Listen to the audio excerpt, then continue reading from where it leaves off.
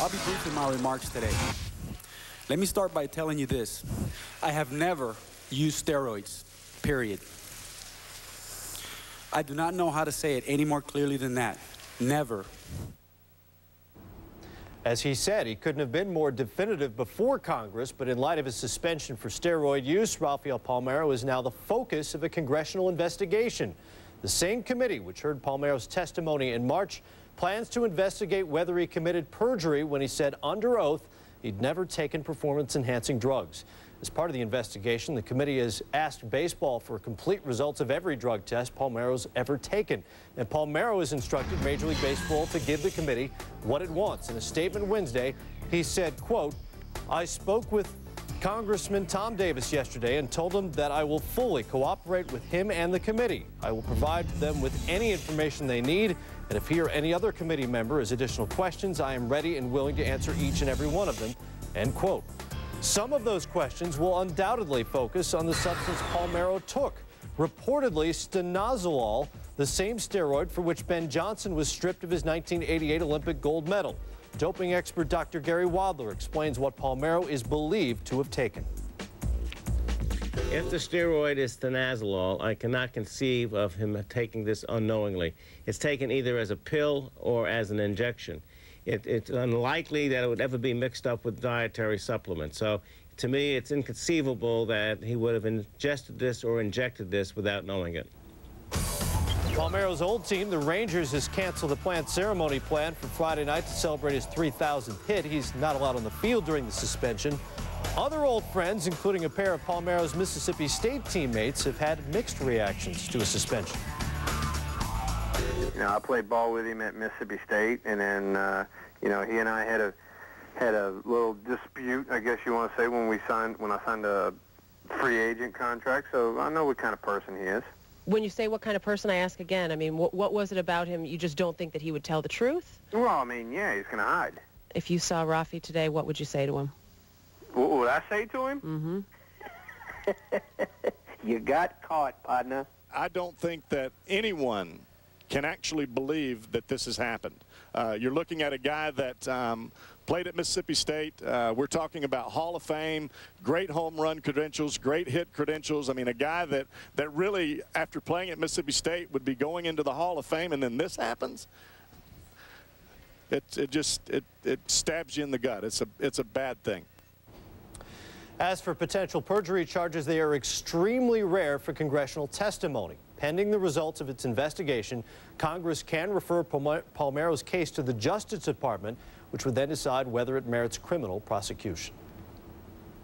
Back to the field, the Indians have won 8 of 10 and as many wins as the Yankees do this year. The two-tangle in Ohio, Mike Mussina, has pitched well against the Indians and becoming a Yankee 4-0, but in the bottom of the fifth, he has problems. Jeff Lee for the DH singles here. Coco Crisp scores. The Yankee lead is down to one. One pitch away from getting out of the inning. The 3-2 pitch. Moose doesn't get the call. Now bases loaded. Aaron Boone bloops one in there, and the Indians take a 5-4 lead.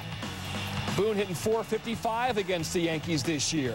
Now Ben Broussard began the fifth with a home run. Now he's up again. Singles to right. That plates Belliard, chases Mussina, and the Indians win again. They have more wins than the Yankees this year. Blue Jays just five back in the AL wild card as the night began. White Sox struggling a little bit at home. Not that it matters. They lead by infinity in the Central.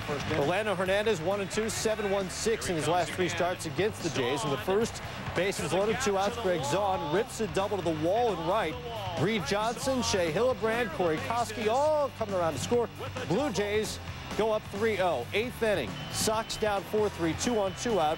Geoff Blum gets Miguel Batista. And Batista got him swinging in the ninth. Two outs, nobody on. Everett against Batista, swinging as well. Jays win at 4-3. Sox now just 3 and 9 in their last dozen.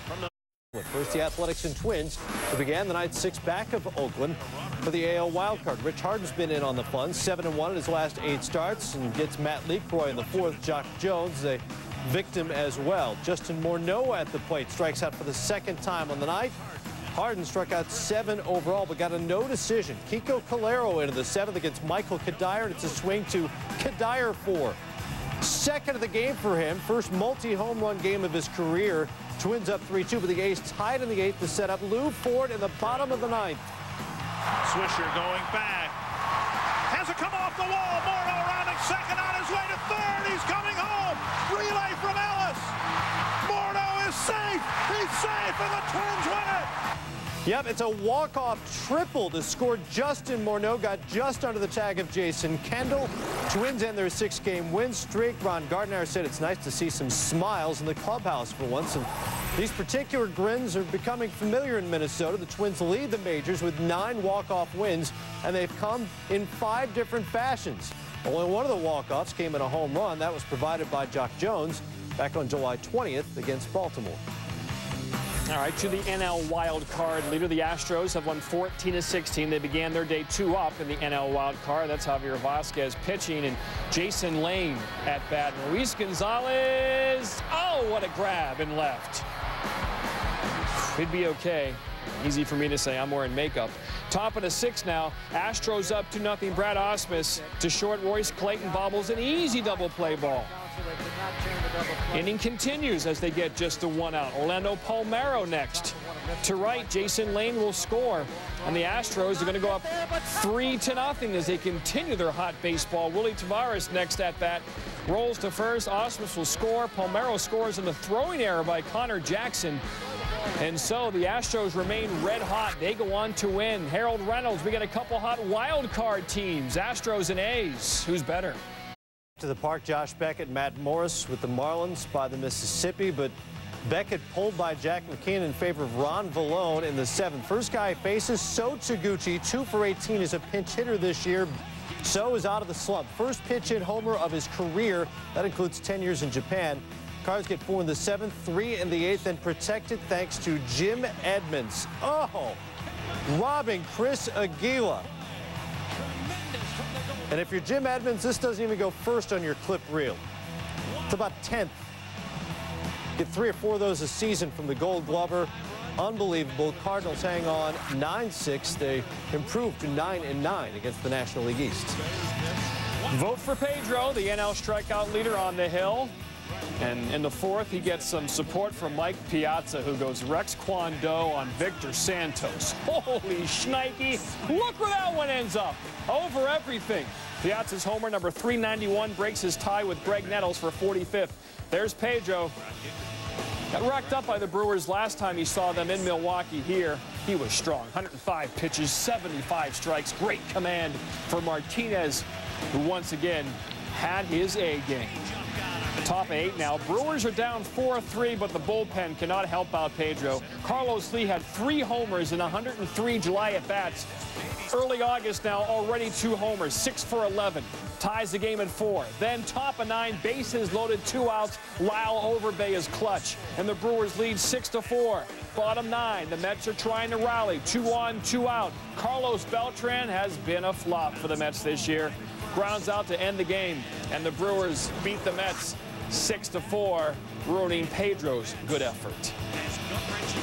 There are myriad ways to win or lose a Major League Baseball game. This may be a new one. Cubs Phillies tied up at three into the ninth. Mike Remlinger, intentional walk to Chase Utley in a 3-all game, and then another to Bobby Abreu gets the four-finger treatment. Dusty Baker wants his righty, Michael Wuertz. Here he comes. Pat Burrell up, 2-2 count. Here comes the heat. It's a little low. Dusty Baker might disagree. So it's 3-2 to pat the bat. But the bat missed the ball. Catcher Michael Barrett, what do you do? Well, you run Jimmy Rollins back, except he threw to third. What happened, Harold Reynolds? You got the bases loaded, so therefore the hitter with the swing and miss, he cannot advance because the base in front of him is occupied. There was only one out. Now, the catcher, all he has to do in this situation as Jimmy Rollins is coming down the baseline is make a decision. Do I run at him and run him all the way back to his base, or do I get him in a rundown and maybe get him at the plate? Because the runner has to advance on his own risk. They just messed up a fundamental play. Barrett admitted, quote, I panicked. Dusty Baker said, I've never seen anything like that, and I'm with him. Phillies win 4-3. John Lackey, who's been hot of late. The first, Miguel Tejada with two out, none on. Lackey got him swinging to get out of the inning. In the fourth, Tejada against Lackey and swinging again. Tejada swinging one more time. He was actually two for five, but struck out three times. Lackey had seven Ks in the night in six and two thirds. In the sixth, Angels up 7-3. Vlad Guerrero looks for more and gets it. The double to right brings in Orlando Cabrera. Career RBI number 900 for Guerrero. Angels hang on to win it 8-4. O's have now lost eight in a row.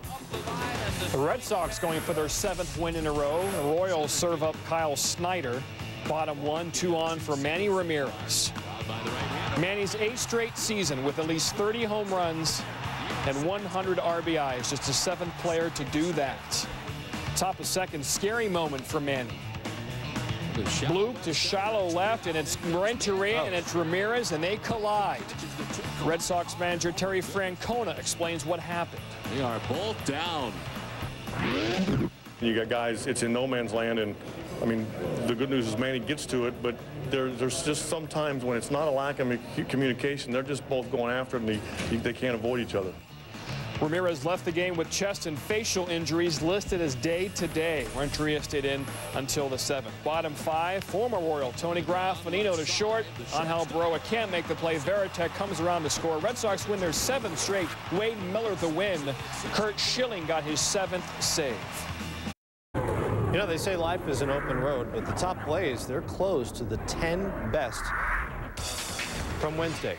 Number 10, technically a play? I don't know. It's the Groovin' Granny. We don't even know that she's a grandma. That's a phony golden girl. loves life. That's a phony golden girl. Number nine, Manny Ramirez homered in the first and that got belted in the second by Edgar Renteria. Ramirez would have to leave the game. They are both down and they would eventually take out the cut. Guessing two votes against the top play. The number eight, check out Jermaine J.B. Brown, the 360 reverse windmill slam at the City Slam Chicago. Vince Carter-esque. Mm. Nicely done. You can see it at 8 Eastern on ESPN. I, I was asking if I could see more of that. I'm glad. I'll be watching Thursday at 8 on ESPN. Number seven, Joey Gathright. Oh, the great catch. And, but, you know, when you dive, sometimes the face will hit the turf. You might want to floss. And when he flosses, there'll be some grass, I think. Grass stains. That's good for him. Yeah. Number six, John Daly, force of nature. Big fella trying to drive a golf ball across Niagara Falls. He did it 20 times, didn't make it once. It's right into the hazard. Head to the drop area. Doug Mientkiewicz in the fifth. This is a double play. He catches the ball in the air, and then his momentum takes him right to the bag for the double up. Nicely done. Number four, more defense. Reds and Braves. Ooh. Ryan Freel to Felipe Lopez. You freel me, dog? We think the pitcher got a, just a fingernail on that, so that's a 1-6-4-3. Bingo. Check your box scores. Number three. What James Mercer is to the Shins, Lew Ford is to the Twins. Bottom of the ninth, two outs, over the glove of Nick Swisher. Here comes Justin Morneau. This song will change your life. Safe! winner, winner, chicken parm dinner. The Twins beat the Red Hot A's. You rhymed twice in one top play. Number two. It's an accident. Marlins Cardinals. Jim Edmonds brought his gold glove to work. He's got seven of those things, not eight or nine, seven of those for making plays like that. Pittsburgh, number one. For the gap in right center field, Mackowiak will head toward third. He might score. Big country, you're